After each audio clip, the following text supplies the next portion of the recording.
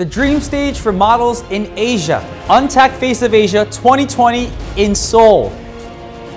Who will be the face of Asia in 2020?